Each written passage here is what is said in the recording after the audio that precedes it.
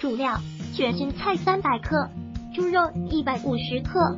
辅料：辣椒、酱油、味精、油、盐、葱。准备时间：十分钟内。制作时间：十到二十分钟。把卷心菜撕成小块，洗干净待用。葱、辣椒切小段待用。